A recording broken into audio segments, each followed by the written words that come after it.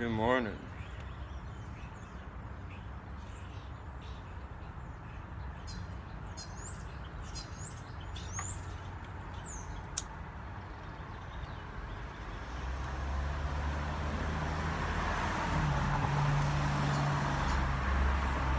Today I am smoking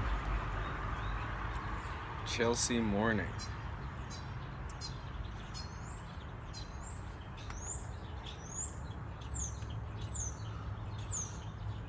And I know I have reviewed this blend before.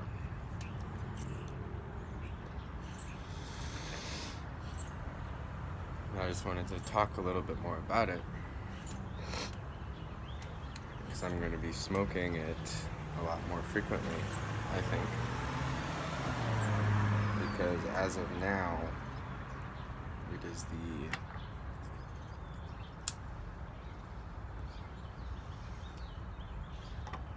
best early morning pipe replacement that I've found. It's a lighter English, so there's a lot of Latakia present in the flavor.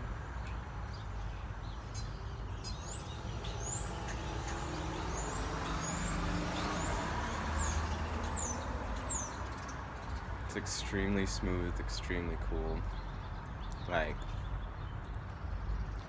I wouldn't be surprised if they're using the same type of Latakia that's in 10 Russians. Just that super, super, like, there's no bite, there's no, like, it, it doesn't taste like getting smoke in your eyes feels, you know what I mean? It tastes very musty, it tastes very, like, cold almost like think like the dirt on the ground in the morning after you've been camping on a chilly fall day. Rather than like dry crusty earth in the middle of summer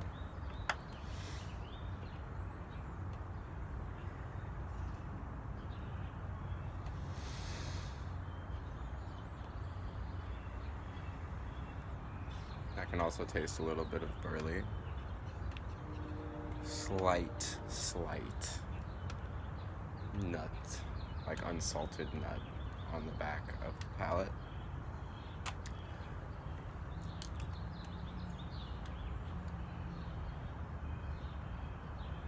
And I don't really get very much Virginia. It's a little bit there, but it's more just in the texture of the smoke, if you feel me, like the way the smoke feels has a lightness, a very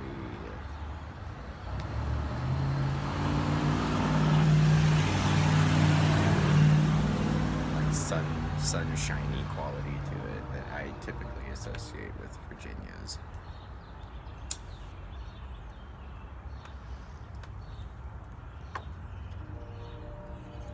Mechanically, I actually do prefer the early morning pipe to this.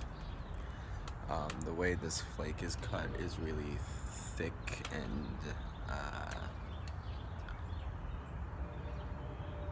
rough, more like a broken flake than a ribbon. And often I don't mind that, but I've become so used to just easily packing a ribbon, not worrying about really the mechanics of how I'm packing. That just it's gonna be a process getting used to that more broken flake cut. And it's not like a strict broken flake. It is technically a ribbon cut, but it's a lot thicker than early morning. Um, it also burns a lot slower.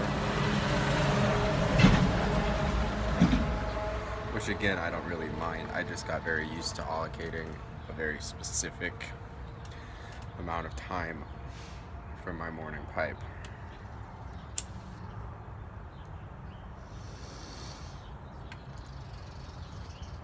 So again, it's just gonna be getting used to taking slightly longer, which I don't mind.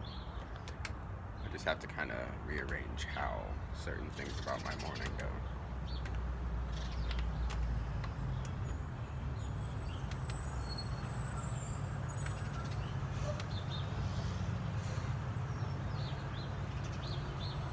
It also doesn't stay lit quite as well. That might just be because I'm not packing it with enough care. You know, like I said, I'm used to just go. Um, so it could very well just be that I'm not packing it right, but my experience as of now is that it doesn't stay lit quite as well and it's harder to pack. So mechanically, there's just going to be some things to get used to.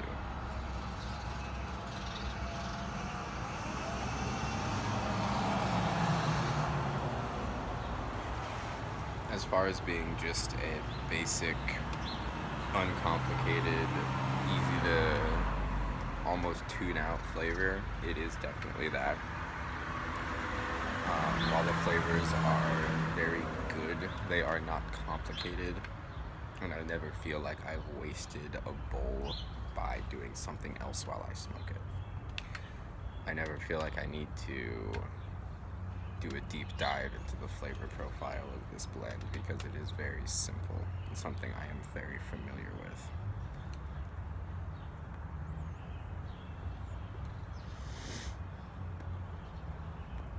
And most lighter English blends are, are that for me. It's one pitfall I have in the with the pipe tobacco blending world is that most lighter English blends taste almost exactly the same to me. There's very little distinction. The main distinction is in quality of tobaccos used, which does affect the flavor but not really those big standout flavors. Um, it more affects the mechanics and the texture than anything for me. And I can tell, you know, it's GLP, they have a reputation for using very, very good tobaccos and blending them very well. And I appreciate that. I can tell that they are using a different grade of tobacco than Dunhill was. And I can't say for sure if it's higher or if it's blended better, but it is different.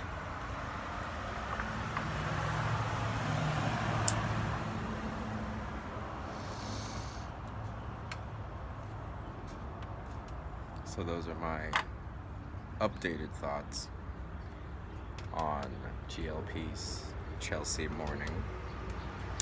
Thank you for watching. Enjoy the rest of your day.